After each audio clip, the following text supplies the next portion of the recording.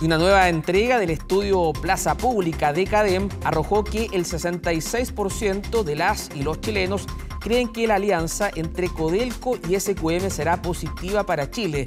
Esto de cara al acuerdo para la explotación conjunta del litio alcanzado en septiembre de 2023. Según este instrumento de medición, las mineras se posicionan dentro de las cinco industrias o empresas con mayores niveles de confianza, alcanzando un 63%, 13 puntos más que en la medición anterior, siendo una de las eh, que más, más altas que ha alcanzado este sector desde que se realiza la encuesta en 2015. No olvides suscribirte a nuestro canal de YouTube.